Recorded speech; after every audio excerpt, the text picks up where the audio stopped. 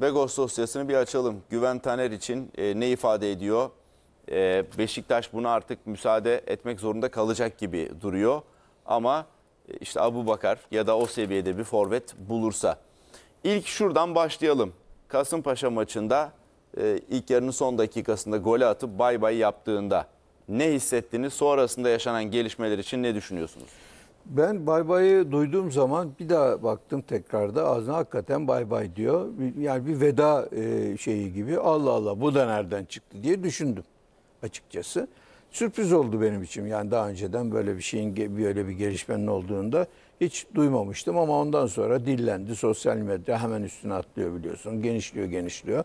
Oradan kulüp açıklaması. Bizim e, Sercan Canavar Beşiktaş muhabiri hiçbir şey kaçmıyor. O bütün e, ayrıntısıyla e, herkese yani topluma e, duyurdu gelişmeleri. Ama şu anda gelişmelerin bir yerde gelip fren yaptığını görüyoruz. Nedir o fren? Vegors'u anladığımız kadarıyla Vegors gitmek istiyor. Manchester United gibi bir Tabii. kulüpte oynamanın yani kariyerine yapacağı katkı söz konusu. Ki ailecek zengin olan bir adam olduğunda bildiğimizden o tabii bizi çok fazla e, ilgilendirmez ama e, para için oynamıyor, para için gitmiyor e, diye düşünebiliriz ki onu da bilmiyoruz. Yıllığı belki Beşiktaş'ta aldığından yani yeni kuşaklar siz maaş diyorsunuz halbuki yıllığı o. Maaş aylık demek biliyorsun. Aynen. Ee, yıllığı Beşiktaş'ta aldığı 2,5 milyondan da çok fazla olabilir. Para da daha fazla da para da kazanabilir ve Manchester United'da kenarda otursa bile ki Hollanda milli takımında Dünya Kupası'nda kenarda oturdu oturdu.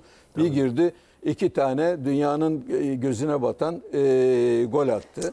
Ondan sonra öne çıktı. Yani oralara gitmek onun e, şeyinde gönlünde olabilir. Buna saygı duyarım. Gidebil, gitmeyi isteyebilir. E, Burnley kulübü onu ana e, şeyi e, tapusu onda olduğu için e, Beşiktaş'ta kiralık sözleşmesi var. E, Burnley kulübü para kazanacağı için e, buna rıza gösterebilir. E, Manchester United'da ihtiyacı vardır. İşte biraz önce söylediğiniz gibi teknik direktör ona göre bir oyun düşünmüştür. O oyuncuyu alır. 300 tane olanından değil de bir tane olanını seçmiştir. O 300 tane veya 301 tanedir teknik adamın gözünde. 301.yi e, istemiştir. Bunların hepsi normal. Bir şey daha e, normal. Beşiktaş kulübü e, Bekors'a önemli bir yatırım yapmış. Programın açılışında ona dile getirmiştim. Bir yatırım yapmış ve ondan bir hizmet bekliyor. O hizmetin karşılığı da yani bir şey üretecek kulüp olarak ve o ondan da bir şeyler kazanacak Beşiktaş kulübü. Hem futbol değerleri olarak maç kazanacak vesaire hem de para kazanacak netice itibariyle. Bir maç kazandırsa onun karşılığı var. Ne bileyim işte bilmem e, bir Avrupa'ya çıkma fırsatını e, sana e, getirse onun bir getirisi olacak. Parasal getirisi olacak. Beşiktaş kulübünün öyle bir beklentisi var. Vekors üzerinden artık giderek şeyini artırmış bir durumdaydı Beşiktaş kulübü. Hatta hatta sezon sonunda sözleşmesinde olan 10 milyonu acaba verip alabilir miyiz konuşmalarını yapmaya başlamışken bu olay patladı. Şimdi Beşiktaş kulübü de diyor ki yani eğer Vekors giderse Vekors'un özelliklerini taşıyan veyahut da golcü özelliklerini taşıyan farklı karakterde de olsa onun yerine Vegors'tan daha ucuz birini koyabilirsek bu işten kar da ederim ben diyor. Yani o bakış açısıyla da Beşiktaş kulübü de e, haklıdır. Ama bütün bunları yaparken ilk akla gelen Beşiktaş ve Bekors'un yerine kimi koyabilir? Abu Bakar. Abu Bakar'ın Bakar. e, Suudi Arabistan'daki kulübüyle Ronaldo geldiği için oraya artık şeyini feshetme aşamasında. Orada da işte birkaç bir iki buçuk üç milyon kadar bir alacağı varmış. Onu da tahsil edip şeyini e, almak istiyor. E, boş kağıdını almak istiyor. O zaman o zaman Beşiktaş'a gelebilir. Şimdi orada yeni bir boyut açılıyor. Abu Bakar mıdır Beşiktaş'ın aradığı adam? Veyahut da Vegors özelliğinde golcü, Abu Bakar özelliğindeki golcü başka bir adam mıdır? İsmi X. Yani Beşiktaş kulübünün portföyünde, scoutlarının, araştırmalarının içinde bir isim var mı? Onu bilmiyoruz. Abu Bakar olarak yansıdı Beşiktaş. Hayır, hayır Abu. Bakar olarak var. Ama ben onu e, düşünmek istiyorum. Yani Ka- Abu Bakar'ın karakteri bakımından. Şimdi Beşiktaş da eğer. Abu Bakar'a şartlanırsa ille de bize gel derse o biz Beşiktaş'a Vegors'tan fazlaya mal olabilir. Çünkü köşeye sıkıştırır. Vegors ne kulübü. alıyordu Güven abi? Ne İki alıyordu? buçuk, iki buçuk. Bu da Sekiz. 2600 istiyormuş galiba. Yani ama zaten Abu Bakar Avrupa'da o kadar fazla parayı kimse vermez. En fazla işte Arabistan'da falan verirler şu anda. Ha yani parayı. o, o hesapları da yapamayız. Kim, kimlerle ne diyaloglar kurduklarını bilemediğimiz için. Ama Abubakar Beşiktaş kulübüne o parayı kazandırtmaz. Hepsini kendine ister.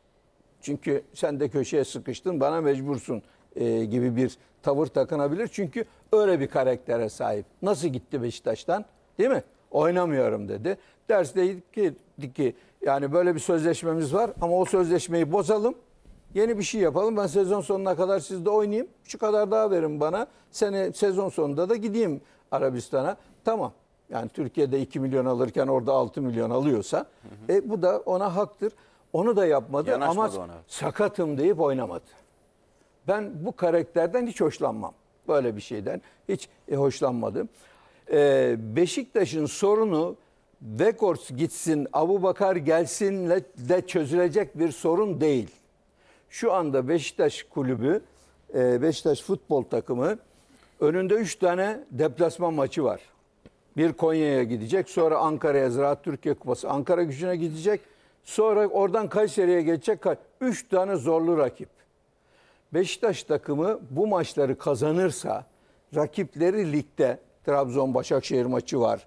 Fener pu- şey e, Fener puan kaybetti. Adana Demirspor puan kaybetti vesaire.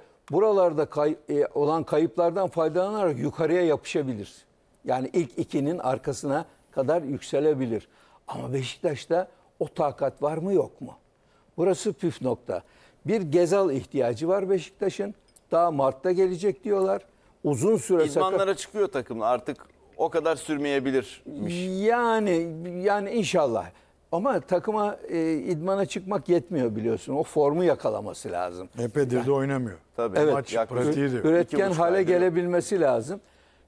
Bir de Beşiktaş'ta forvet arkası sorunu var. Dele Ali umuttu orada gelişir diye düşünülüyordu ama adam hiçbir adım atmadı ileri doğru yani verimliliğe doğru hiçbir adım atmadı. Gönderilmesi düşünülüyor. Gönderilmesi düşünülüyor. Peki orada kim oynayacak? Oraya da asıl adam lazım.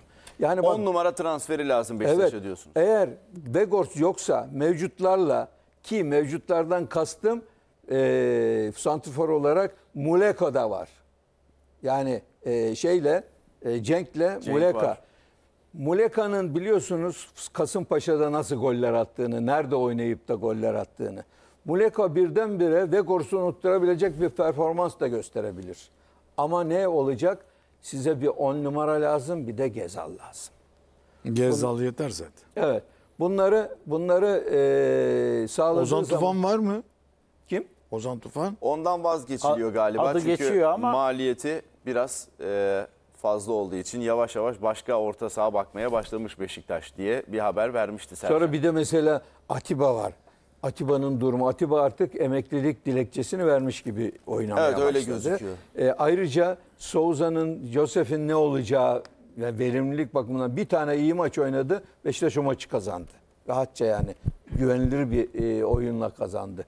Ama onun ne olduğunu bilmiyoruz. Yani Beşiktaş'ın 10 numarası ve sevmediğim anlatımıyla 6 numarası e, ihtiyacı da var. Fakat bu harcama limitleriyle hangisini ne kadar başarabilir bilemiyorum. Gönderilecek oyuncularla e, hem kontenjan hem para limiti açılabilir gibi e, gözüküyor. Artık bakalım çok hareketli geçecek Beşiktaş transfer dönemi. Çünkü böyle ekstra hiç hesapta olmayan şeyler de çıktı. O nedenle bayağı bir hareketli. Gidecekler açısından mı hareketli geçecek? Gelecekler açısından. Bence gidecekler açısından. İkisi de. Yani. İkisi de çünkü Vegors'un gitmesi beklenmiyordu. İşte De Souza'ya Brezilya'dan teklifler var deniyor falan. Hani Ya beklenenden çok daha fazla. de Masuaku ve şeye e, Rozier'i artı Enkudu'yu bırakmam. Bunlar Evet, öyle bir liste geldi bugün. Ama yani, yani bu ben onu oyuncular da olmaz yoldan bırakmam ya. ayrılacak. Masuaku'nun çok sözü geçiyor ama Masuaku'yu gönderirseniz 2 onda 2 milyonmuş kiralama bedeli. Sonra da pardon satın alma bedeli kiralama sonunda.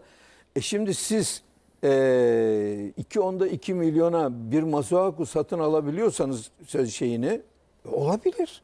Pahalı değil ki. Ama süresi önemli. Orada da bir 3 yıllık e, süre söz konusuymuş. Yani bunlar hep e, çözülebilecek şeyler. Onu Beşiktaş yenilemek için galiba kulübüyle bir e, görüşme yapacak. Yani Bu tabii, zorunluluğu kaldıralım vesaire. bir, bir Şimdi görüşme bak, daha zaten yapacakmış. zaten birkaç ay şurada ligin yarısı gitti. Ne bileyim işte e, Tayfur şey kiralık. Vegos zaten kiralık. E, neydi? Masuaku kiralık. E, Redmond. Redmond kiralık. Bir tane daha var. Beş tane kiralık. Dele Alli kiralık. Dele Alli kiralık. e bunlar zaten gidecek.